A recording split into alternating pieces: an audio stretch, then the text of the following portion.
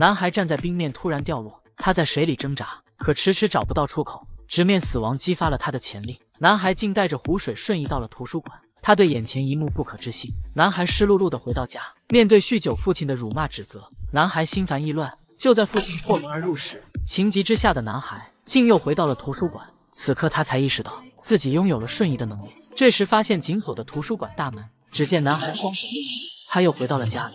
拥有超能力的男孩决定离开糟糕的父亲。男孩用仅有的钱租了一间房，接着就来到银行门口。他以借卫生间为由进到银行开始观察，晚上就拿上工具和袋子，瞬移到银行金库内，看着眼前成堆的钞票，男孩已经压不住内心的喜悦了。接着开始用袋子装钱，发现袋子太小了，又瞬移到房子换个大袋子。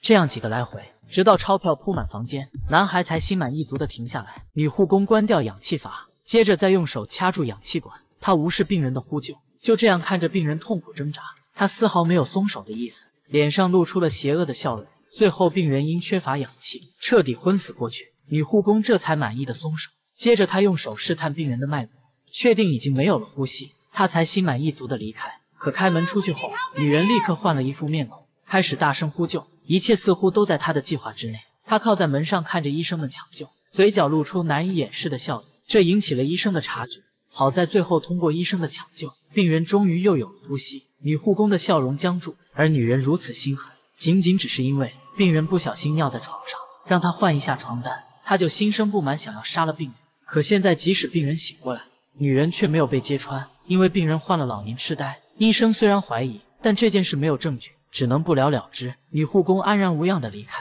这部电影叫《不速之客》，感兴趣可以去看原片哦。男人故意用身体挤压女人，这惹怒了女人，他抢过男人手里的面包砸在他脸上，而女人也因此来到了警局。可没想到的是，警察不但不帮助他。反而还占他的便宜。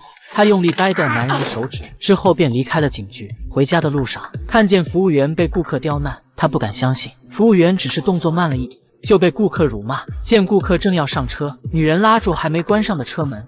Hey, this is my car. I think you forgot something. What?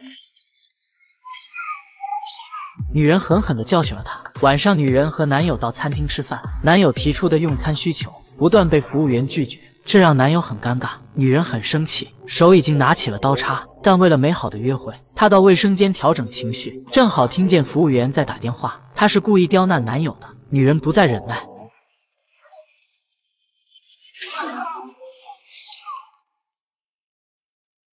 fuck.